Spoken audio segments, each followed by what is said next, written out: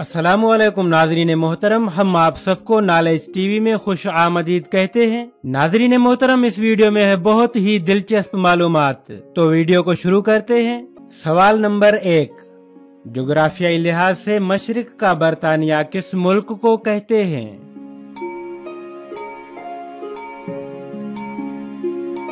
और उसका जवाब है जापान को। सवाल नंबर दो। वो कौन से मुल्क हैं जो एशिया और यूरोप दोनों में वाक़ हैं?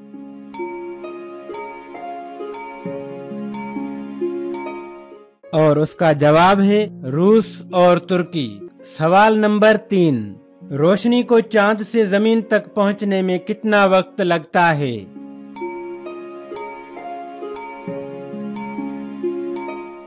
और उसका जवाब है एक आचार्य तीन सेकंड। सवाल नंबर चार, चमकादड़ की औसत उम्र कितनी होती है?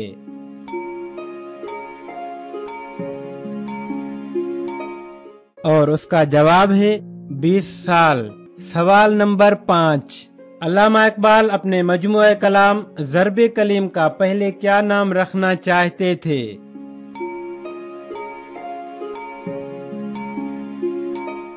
और उसका जवाब है सूर इसराफील। सवाल नंबर छ।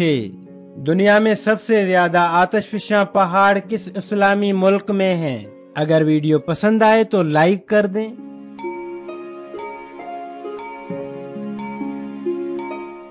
और उसका जवाब है इंडोनेशिया में। सवाल नंबर सात।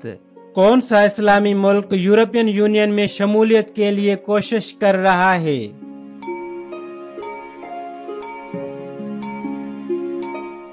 और उसका जवाब है तुर्की।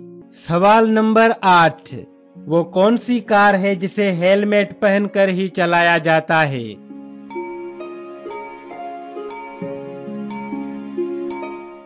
और उसका जवाब है फार्मूला वन रेसिंग कार को।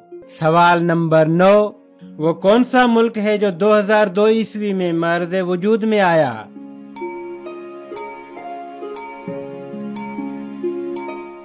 और उसका जवाब है ईस्ट तैमूर। सवाल नंबर दस।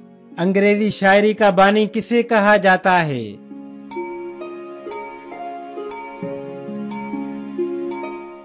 और उसका जवाब है जोफ्री चौसर को। दोस्तों, वीडियो को एंड तक देखने का शुक्रिया। अपना बहुत ख्याल रखिएगा। मिलते हैं नेक्स्ट वीडियो में। तब तक के लिए खुदा हाफिज।